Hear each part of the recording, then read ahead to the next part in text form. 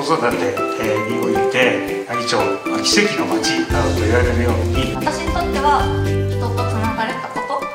がすごく心の支えになり住民の方の特技を生かしてその方ができることを何か子どもたちに提供して公的なサービスじゃなくて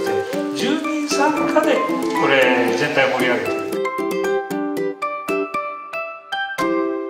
て皆さん自身がどんなふうに考えてそしてどんなふうにそうした取り組みに参加をしていろんな思いを持っておられる？奈義町では金銭的な支援もたくさんあってそれもありがたいんですけど私にとっては人とつながれたことがすごく心の支えになり初めての子育てなのでもうわからないこととか不安なことばかりで沈む日もたくさんありました。でもそんな中で町の保健師さんやチャイルドホームのスタッフさんや地域の方にたくさん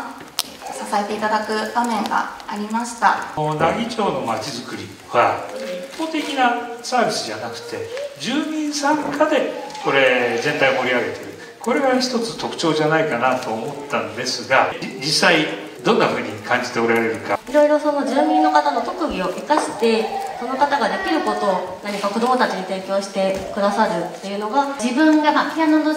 講師をしているということで自分のまあ特技をあの生かしてということで音遊びとあの名前を付けましてチャイルの開設以来あの関わりを持ってまいりました。それぞれの個々の政策を生かすためにも社会全体で子育てをしようという雰囲気を作っていくことが大事なんではないか、